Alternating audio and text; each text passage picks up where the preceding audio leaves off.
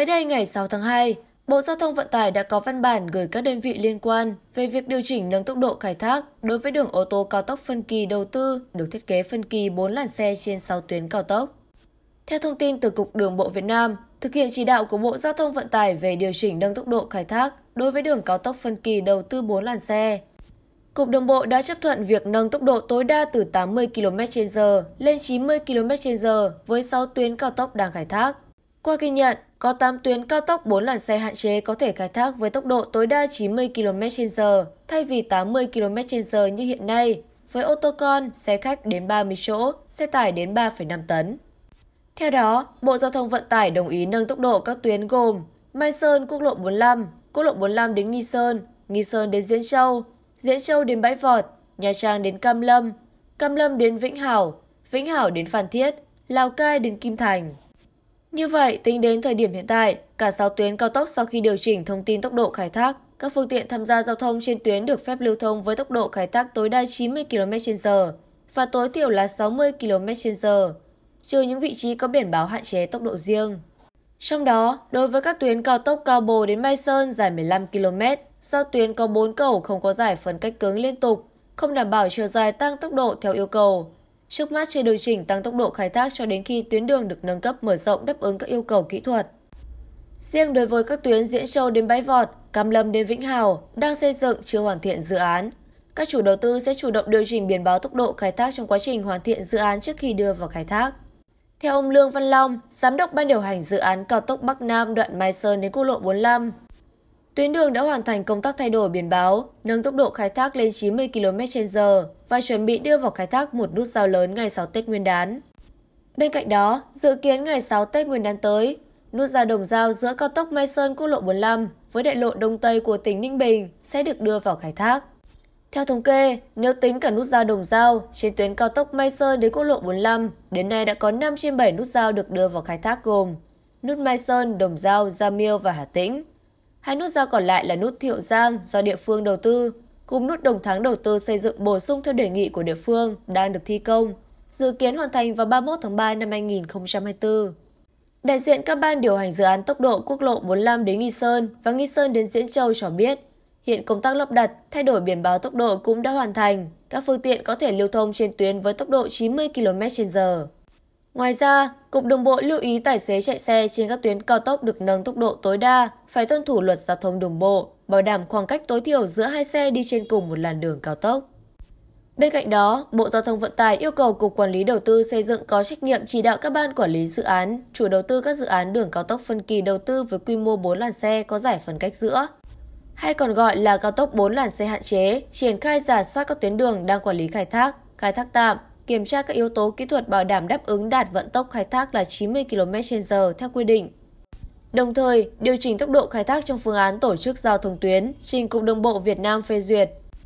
Trên cơ sở phương án tổ chức giao thông cho các chủ đầu tư, đơn vị quản lý khai thác lập và trình duyệt, Cục Đường bộ Việt Nam phê duyệt phương án tổ chức giao thông, điều chỉnh các dự án đủ điều kiện nâng tốc độ khai thác. Chỉ đạo các khu quản lý đường bộ đang quản lý khai thác các tuyến cao tốc phân kỳ đầu tư, nhanh chóng hoàn tất thủ tục cần thiết để nâng tốc độ khai thác đáp ứng nhu cầu đi lại. Để thực hiện hiệu quả công điện số 10 năm 2024 của Thủ tướng Chính phủ về tăng cường các giải pháp bảo đảm an toàn giao thông trong dịp Tết Nguyên đán Giáp Thìn và lễ hội xuân năm 2024. Bộ Giao thông Vận tải yêu cầu cơ quan, đơn vị chỉ đạo các chủ đầu tư, đơn vị quản lý khai thác thực hiện việc điều chỉnh nâng tốc độ đối với các tuyến cao tốc phân kỳ đầu tư đủ điều kiện hoàn thành trước dịp Tết Nguyên đán Giáp Thìn để góp phần giảm ủn tắc giao thông, đáp ứng tốt hơn nhu cầu đi lại của người dân trong dịp lễ. Cụ thể, Cục Đường Cao tốc Việt Nam, Cục Quản lý Đầu tư xây dựng đang thực hiện chức năng của cơ quan chuyên môn về xây dựng thuộc Bộ Giao thông Vận tải đối với các dự án đầu tư xây dựng đường cao tốc đang chuẩn bị hoặc đang thực hiện đầu tư trong phạm vi cả nước, theo phân công để đảm bảo đồng bộ và thống nhất về tốc độ khai thác. Theo ghi nhận, sau khi nhận thông tin, các ban điều hành một số dự án đường bộ cao tốc Bắc Nam phía Đông đã điều chỉnh tốc độ khai thác lên 90 km/h thay vì 80 km/h như trước đây. Mục đích là nhằm đáp ứng nhu cầu đi lại tăng cao trong dịp Tết Nguyên đán Giáp Thìn 2024. Cũng trong ngày 6 tháng 2, Tổng công ty Cảng hàng không Việt Nam đã triển khai thử nghiệm thu phí tự động không dừng tại sân bay Nội Bài Hà Nội và Tân Sơn Nhất thành phố Hồ Chí Minh. Việc triển khai thu phí không dừng tại các sân bay lớn trước thềm năm mới giúp các phương tiện ra vào sân bay được thuận tiện hơn và giảm ùn tắc giao thông trong đợt cao điểm Tết. Trước đó, Bộ Giao thông Vận tải đã cho phép 4 dự án cao tốc được thí điểm nâng tốc độ từ 80 km/h lên 90 km/h, bao gồm từ Tuyên Quang đến Phú Thọ, Trung Lương đến Mỹ Thuận, Mỹ Thuận đến Cần Thơ và cầu Mỹ Thuận 2. Được biết do ngân sách hạn chế, các tuyến cao tốc được xây dựng trong thời gian gần đây đã được Quốc hội chấp thuận chủ trương đầu tư trước mắt với quy mô phân kỳ đầu tư 4 làn xe. Cao tốc phân kỳ 4 làn xe có nền đường rộng 17m, mặt đường rộng 16m, làn xe cơ giới rộng 3,5m, không bố trí giải dừng xe khẩn cấp liên tục, tốc độ khai thác tối đa là 80 km/h. Phần lớn các đoạn tuyến cao tốc phân kỳ 4 làn xe mới đưa vào khai thác thuộc dự án đường cao tốc Bắc Nam phía Đông. Các cao tốc đang thi công thuộc cao tốc Bắc Nam phía Đông, Châu Đốc đến Sóc Trăng, Cần Thơ, Cao Lãnh đến An Hữu Khánh Hòa, Buôn Ma Thuột cũng được phân kỳ đầu tư 4 làn xe. Còn đường cao tốc 4 làn xe có quy mô đầy đủ có nền đường rộng 22,5m đến 25m, mặt đường rộng 21,5m đến 23,5m, mỗi làn xe rộng 3,75m. Bên cạnh đó, giải dừng xe khẩn cấp hai bên được đầu tư đầy đủ liên tục, mỗi giải rộng 3m. Và tốc độ khai thác tối đa là 100 km/h đến 120 km/h.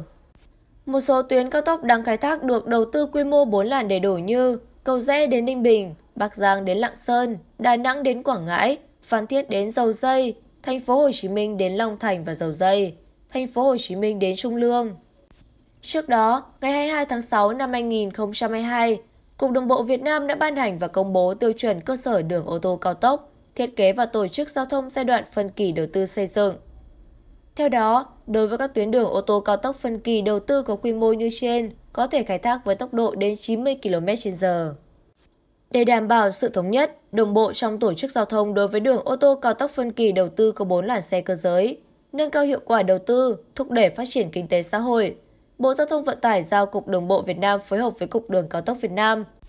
Cục Quản lý Đầu tư xây dựng, ra soát các yếu tố kỹ thuật có liên quan của công trình đường bộ cao tốc phân kỳ đầu tư đang khai thác hoặc đang chuẩn bị thực hiện đầu tư có 4 làn xe cơ giới để đánh giá tính phù hợp và quyết định việc nâng tốc độ khai thác lên 90 km/h. Thời điểm đó, trong bối cảnh nguồn lực kinh tế còn khó khăn, Quốc hội và Chính phủ đã thông qua chủ trương phân kỳ đầu tư xây dựng một số tuyến với mặt cắt ngang 4 làn xe, tốc độ thiết kế là 80 km/h. Trong đó, tốc độ thiết kế được xác định, lựa chọn trong quá trình triển khai đầu tư xây dựng tuyến đường và là giá trị không đổi trong suốt quá trình xây dựng và khai thác của dự án. Trong khi đó, hiện có nhiều đoạn tuyến trên hệ thống đường quốc lộ được nâng cấp, cải tạo với điều kiện tương đồng như đường cao tốc phân kỳ đầu tư. Các tuyến đường này có điều kiện khai thác phức tạp hơn các tuyến đường cao tốc 4 làn hạn chế, có dòng giao thông hỗn hợp. Tốc độ tối đa cho phép trên các tuyến đường này đang quy định cho các loại phương tiện và thực hiện theo thông tư 31 năm 2019 của Bộ Giao thông Vận tải. Đối với các tuyến quốc lộ này, với vận tốc thiết kế là 80 km/h, có bề rộng làn xe chạy của các làn cơ giới tương tự như bề rộng của các làn xe cơ giới của các tuyến cao tốc hạn chế, mặt đường chưa có lớp tạo nhám. Tuy nhiên, những đoạn đường này đã được Bộ Giao thông Vận tải và các địa phương cho phép lựa chọn tốc độ tối đa 90 km/h đối với xe ô tô con. Xe ô tô chở người đến 30 chỗ trừ xe buýt, ô tô tải có trọng tải nhỏ hơn hoặc bằng 3,5 tấn, các tuyến quốc lộ hiện hữu có điều kiện tương đồng với các tuyến cao tốc đầu tư phân kỳ xây dựng 4 làn xe hạn chế, cũng cho phép tốc độ tối đa 90 km/h đối với một số loại phương tiện. Một số tiêu chuẩn quốc gia cho phép sử dụng bề rộng làn xe 3,5m với tốc độ thiết kế là 100 km/h. Thank you.